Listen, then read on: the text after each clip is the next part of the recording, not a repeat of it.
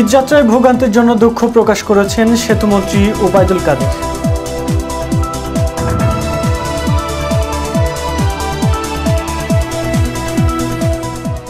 ট্রেনে শিডিউল বিপর্যয়, যাত্রা বাতিল, বিকল্প ব্যবস্থা।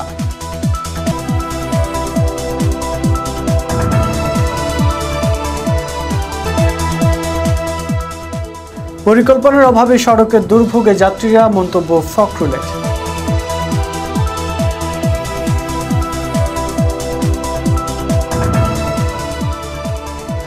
এবং রাতেও জমজমাট রাজধানীর পশুরহাট আসসালামু আলাইকুম। আমন্ত্রণ কর্ণফুলী সংবাদ।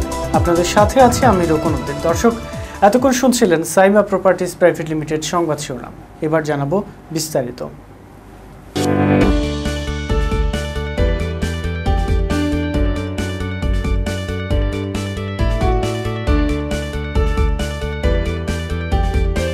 দালান নির্মাণের এক বিশ্বস্ত প্রতিষ্ঠান, সাইমা প্রপার্টিজ প্রাইভেট লিমিটেড। আপনার উপরে ওঠার সঙ্গে ঢাকা টাঙ্গাইল মহাসড়কে যানজটে যাত্রীদের ভোগান্তি হওয়ায় দুঃখ প্রকাশ করেছেন আওয়ামী লীগের সাধারণ সম্পাদক এবং সড়ক পরিবহন ও সেতু মন্ত্রী ওবায়দুল কাদের। সকালে রাজধানীর সাইদাবাদ বাস টার্মিনাল পরিদর্শন শেষে সাংবাদিকদের কাছে দুঃখ প্রকাশ করেন তিনি। এ সময় ওবায়দুল কাদের বলেন মন্ত্রী হিসেবে তিনি এই ব্যর্থতার দায় এড়াতে পারেন না। তবে এবার ঈদে ঢাকা টাঙ্গাইল মহাসড়ক ছাড়া দেশের আর কোথাও যানজট হয়নি বলেও দাবি করেন ওবায়দুল কাদের। প্রিয়জনের সাথে ঈদের আনন্দ ভাগাভাগি করতে শেষ মুহূর্তে রাজধানী ছাড়ছে ঘরমুখ মানুষ। তবে ট্রেনের সময়সূচি ভেঙে পড়ায় চরম ভোগান্তিতে পড়েছে যাত্রীরা। সবচেয়ে বেশি ভোগান্তিতে পড়েছে উত্তরবঙ্গের যাত্রীরা। সর্বোচ্চ বিশ ঘণ্টার দেরিতেও ছেড়েছে ট্রেন। এতে লম্বা হচ্ছে যাত্রীদের অপেক্ষার প্রহর। এরই মধ্যে শিডিউল বিপর্যয়ের ফলে লালমনিরহাটগামী লালমনি ঈদ স্পেশাল এক্সপ্রেস ট্রেনের যাত্রা বাতিল করেছে রেল কর্তৃপক্ষ। বাতিল হওয়া ট্রেনের যাত্রীদের টিকিটের টাকা ফেরত দেওয়া হবে বলে জানিয়েছে রেলওয়ে সচিব। এদিকে শিডিউল বিপর্যয়ের কারণে রংপুরগামী রংপুর এক্সপ্রেস, খুলনাগামী চিত্রা এক্সপ্রেস ও রাজশাহীগামী পদ্মা এক্সপ্রেস ট্রেনও সময় মতো ছাড়তে পারছে না। তবে এই তিন এক্সপ্রেসের জন্য বিকল্প ট্রেনের ব্যবস্থা করা হয়েছে। না হয়, তাহলে সকাল সাড়ে আটটায় জাতীয় মসজিদ বাইতুল মোকারমে প্রধান জামাত হবে বলে জানিয়েছেন ঢাকা দক্ষিণ সিটি কর্পোরেশনের মেয়র সাইদ খোকন। সকালে জাতীয় ঈদগাহ ময়দান পরিদর্শন করে তিনি সাংবাদিকদের কথা বলেন। এ সময় তিনি আরও বলেন, যারা ডেঙ্গু আক্রান্ত এবং যারা ডেঙ্গুতে মারা গেছেন, তাদের জন্য বিশেষ দোয়া ও মোনাজাত হবে।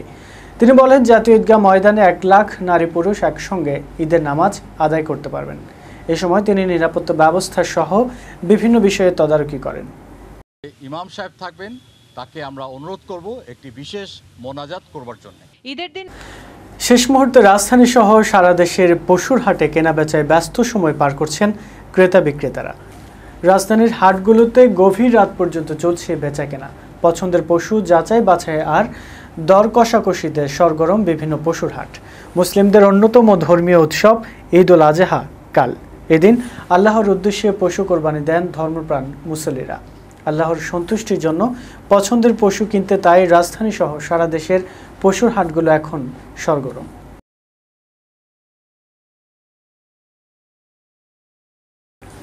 যোগাযোগ ব্যবস্থায় পরিকল্পনার অভাবে ঈদে বাড়ি ফেরা যাত্রীরা মহাসড়কে দুর্ভোগে পড়েছেন বলে অভিযোগ করেছেন বিএনপির মহাসচিব মির্জা ফখরুল ইসলাম আলমগীর।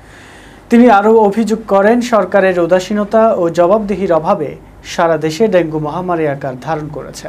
আজ ঠাকুরগাঁও সদর উপজেলায় নিজ বাসভবনে সাংবাদিকদের সঙ্গে আলাপকালে এ কথা বলেন মির্জা ফখরুল। সংবাদ শেষ করব। তার আগে সাইমা প্রপার্টিজ প্রাইভেট লিমিটেড সংবাদ শিরোনামগুলো জানিয়ে দেব। আরও একবার।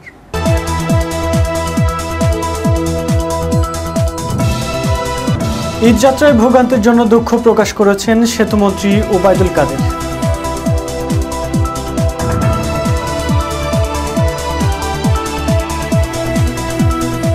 ট্রেনে শিডিউল বিপর্যয়, যাত্রা বাতিল, বিকল্প ব্যবস্থা।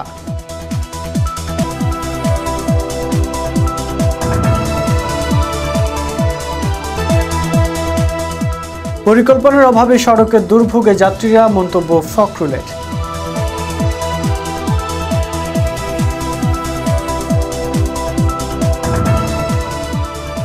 এবং রাতেও জমজমাট রাজধানীর পশুর হাট।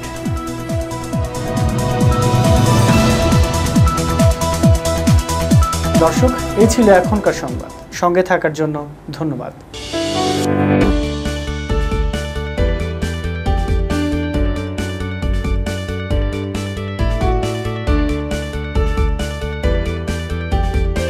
দালান নির্মাণের এক বিশ্বস্ত প্রতিষ্ঠান সাইমা প্রপার্টিজ প্রাইভেট লিমিটেড আপনার উপরে ওঠার সঙ্গী।